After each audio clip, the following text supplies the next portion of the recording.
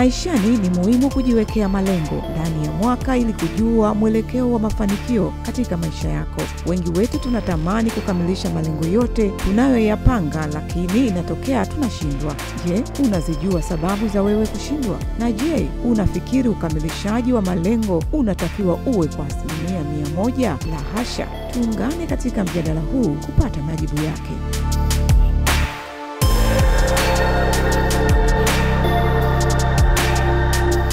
Karibu sana mtazamaji na heri ya mwaka mpya, na ni bado mwendelezo uh, wa mijadala yetu. Tunaangalia zaidi biashara na masuala mengine, lakini kumbuka tuko mwanzoni mwa mwaka, kwa hiyo lazima tukumbushane. Tulijiwekea malengo yetu 219 malengo, mtu anaweza akasema nilitaka kujenga nyumba, nilitaka kununua kiwanja, hayo ndio malengo. Nilitaka kusoma, hayo ni malengo ambao wengi tulikuwa tumejiwekea 219 na mengine hayajatimia, lakini 2020 imeshafika. Kwa tunafanyaje? Kuna malengo ya 2019 na 2020. Basi nikaona tukuletee uh, Sara Ngonyani, yeye ni mhamasishaji wa masuala ya kijamii pia na masuala ya kiuchumi na niko naye humu ndani. Heri ya mwaka mpya. Heri ya mwaka mpya Belinda, asante sana. Asante pia na karibu tena wakati mwingine. Okay. Ya, na mada yetu husika ni kama ulivyoisikia, malengo yetu 2019 Tisa. 20 tunayafanyaje ndugu yangu tuvuke? Ya- yale ambayo hatukuyatimiza Hatukuyatimiza na lakini kuna tunataka kuna- Tutafanyaje hapa katikati? Yes. Ya, ni kweli kabisa. Labda kwa kuanza niseme kwamba ah, kama kuna mambo unataka kuyafikia, kuyafanya, kuyapata, ni lazima uwekee malengo. Usipoweka malengo, ubongo wako unakuwa haujui wewe Belinda unataka nini mwaka huu.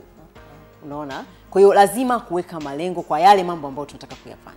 Sasa tukirudi kwenye mada kwamba jinsi gani ya kutimiza malengo mapya, lakini una kuna ya zamani ambayo bado hujayatimiza.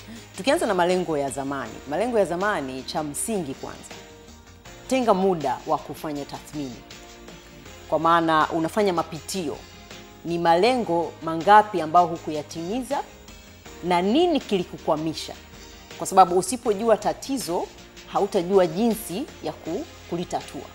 Kwa hiyo angalia, ainisha vitu ambavyo vilikukwamisha inaweza kuwa ni connection ya mtu kwamba ulihitaji kumwona Belinda, Belinda akuunganishe na mtu fulani, lakini hukumpata. Inawezekana uh, wengi huwa wana, wanakuja na visingizio vya fedha. Fedha, lakini yeah. fedha inakuwa sio ishu kumbe. Mara nyingi unakuta mtu aidha hana ujuzi wa hicho kitu au hana connection ya mtu mwenye ujuzi, kwa sababu sio kila kitu lazima ufanye mwenyewe. Kuna wakati unahitaji mtu mwenye ujuzi fulani ili akusaidia Aku- kuvuka kwenye, kwenye hayo kwenye, malengo kwenye yako. hayo malengo yako. Kwa hiyo cha msingi, kuna vitu vya muhimu pia vya kujiuliza eh? na kwenye kwenye malengo pia ya, ya, ya zamani unajua sila, sio kila lengo ulilojiwekea ni lazima ulitimize Kwa mwaka huo. kwa mwaka huo, kwa sababu ndio maana kuna malengo ya muda mrefu na, Na- kuna malengo ya muda mfupi. Kwa hiyo inapaswa kumbe tugawanye tunapoweka malengo yawepo ya muda mfupi. Ni kweli kabisa. Sasa unaweza ukajikuta ya muda mfupi na ya muda mrefu yanakutana hayajatimia, hapo tunafanyaje? Ah, okay, kinachotokea yeah. ni kwamba yale malengo ya muda mrefu ndio huwa tunayavunja vunja kuja kuwa malengo ya muda mfupi. Okay. Kwa hiyo malengo yako ya miaka mitatu unayagawanye yafike kwamba kwenye kila mwaka ni kitu gani natakiwa kufanya kwenye hilo lengo. kwenye hilo lengo ili kufikia kwamba ikifika miaka mitatu niwe nimefikia pale ninapotaka kwenda, lakini ndani ya huu mwaka mmoja niwe nimepiga hatua kuelekea kwenye kile ninachokitaka. Tuchukulie nataka kufungua biashara ishirini na ishirini na moja biashara yangu tuchukulie ya maduka ya nguo ya kisasa. Sasa hivi naweza nika uh, nikaanza kivipi vipi, yani kidogo kidogo kwa, kwa, kwa kivipi yani hadi nikaanza Yani hapo umezungumzia duka la nguo, duka la kisasa. hii la kisasa eh. kwa akili ya haraka haraka mtu anawaza tu mtaji pesa, mtaji Pesa. pesa, au mtaji fedha okay, lakini ni lazima upate elimu eh? Kuna vitu yani, kuna taarifa lazima uzitafute, kwa sasa hivi elfu mbili na ishirini mimi nisome jiwekee utaratibu yes wa kutafuta taarifa, tuna zinapatikana wapi kwa jumla, nitanunua wapi, nitanunua kiwandani moja kwa moja au nitanunua kwenye maduka ya jumla Kariakoo au popote au nitaenda China mwenyewe. Mwenyewe. Yani kuna taarifa lazima uzipate na gharama, uanze kuhesabu gharama. Kwa sababu kuna mwingine anafiri inakuaje? Yes, inakuaje? ile gharama inafidia vipi? Napataje faida kama kuna kulipia tiketi ya ndege? Unaona na labda nizungumze tena kitu kimoja muhimu kama nilisema mwanzo kwamba malengo ya zamani sio lazima kila lengo uwe umelitimiza kuna kuna watu wengi tunaenda sana kwa kufuata mkumbo, Mkumbo. na kufuata nini akili inakuambia lakini kuna vitu vingine sikiliza sikiliza hisia. Wewe na maisha yako kwanza, yes. Je, hujayatimiza wewe kwa sababu Belinda katimiza? Ehe. Ndio kanisababisha nisitimize, nisitimize. Ama mimi nilikuwa na uh, ruti nyingine na Belinda na ruti nyingine. ni kweli kabisa. Wengi tunapotea kwa sababu tunataka kwa sababu belinda ni rafiki yangu mm. belinda ni ndugu yangu anachokifanya belinda na mimi nifanye. Lakini hauna hata interest na kile kitu hauna mapenzi na kile kitu hauna passion na kile kitu. Kwa hiyo ningeshauri ni- ni- ningeshauri wakati unapitia yale ambayo haukuyatimiza angalia nini kilikukwamisha alafu tafuta suluhu au tafuta sasa njia za kufanyaje za, ku, za kulifanya lile za kulifanya lile lengo la zamani Okay. Na kwenye malengo mapya sasa ya zamani mm -hmm. ndio hayo tunaendelea nayo, lakini mm -hmm. unaangalia wanasema wewe pamoja, mimi nitafungua hiyo biashara mm -hmm. lakini natamani nifungue biashara ndogo mm -hmm. kwa mwaka huu, nimeona kuna fursa sehemu fulani na hivi tunafanyaje sasa? Kule kuna kubwa, kuna hilo dogo, na kikubwa kwetu kelele ni mtaji tu.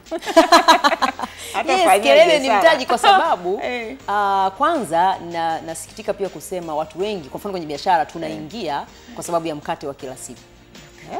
yaani tunaingia tu, tu tuweze kupata kafaida tule tuishi tulipe ada ikanunue mchele. ikalipe ada ikalipe kodi ya nyumba basi yaani ndo kinachotufanya tuingie kwenye biashara lakini kama unaingia kwenye biashara ukijua kabisa hii biashara yangu naiwekea malengo ya miaka mitano mimi ningeshauri kwanza wale wanaosema mtaji hata kama una mtaji wa milioni kumi usiingize mtaji wote kama ndio unaanza kwa sababu hauna uzoefu haujawahi kukutana na changamoto unaona?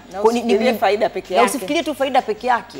Kuna hasara. Kwa hiyo ukianza kidogo hasara utakaoipata maumivu yake sio sawa na hasara kama utaingiza let's say milioni kumi yote ukaingiza kwenye biashara kama kuna siku moja hichi kipindi cha mvua, si unajua mvua mvua, uh, tunaelekea mwaka mpya hivi mpaka hivi. Mwaka mpya tu hapa naona kuna kajua, lakini mvua ina, tunaambiwa bado ipo na karibu tunaelekea masika. Ah, maduka haya ya Sinza yaliingia maji. Sasa pale kama ndo biashara ni mpya maji yameingia, mzigo wote umeloa, Ehe. alafu inakuweje sasa? una- Ni, ni, ni hasara? unaweza ukaugua pressure. Yani kweli na- hicho hicho hicho ndo kitu unamhoji mtu unakuta aongei yani anafikiria hiyo milioni kumi ulioisema hapo kwamba mtu ameiwekeza yote kama mtaji alafu anafikiria atairudishaje. Na kwa sababu pia ya kufikiria sana mtaji fedha watu wengi hujikuta wanaanza biashara na mikopo kitu ambacho ni kosa kubwa sana katika biashara. Kumbe biashara unataka uanzeje yani kama una hela unafanyaje yani?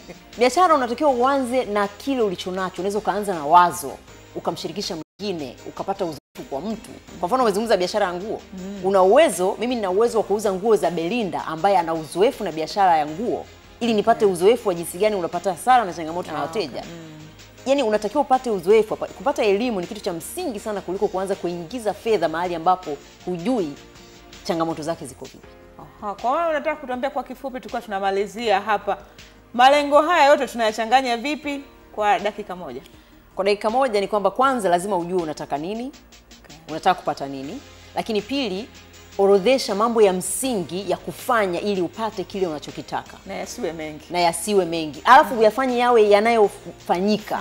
Usiweke malengo makubwa ambayo huwezi kuyafanya. Weka madogo madogo. Ya- 31 Disemba mwaka unaisha unaanguka kitandani.